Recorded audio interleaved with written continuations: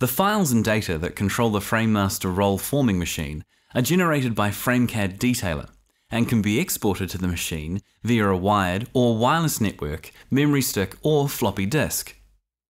The order in which panels and trusses are manufactured can be tailored to suit your construction schedule. Before each wall panel is manufactured, a drawing of the completed wall appears on the FrameMaster controller screen, providing the operator and assemblers with a visual reference of what's being produced.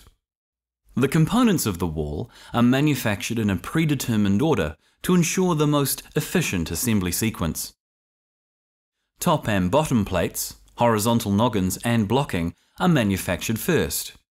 Then the studs are produced from left to right. This makes assembly faster and easier. Each component is printed as it is manufactured, with details that identify how it is to be assembled. The company name, project name, time of manufacture, or other unique information can also be printed on each component, allowing complete traceability as part of the FrameCAD quality system.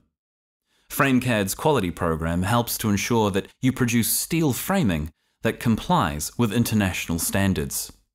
It is critical that you inspect steel coils when you receive them into your factory, and that you inspect the quality of product during and after the manufacturing process.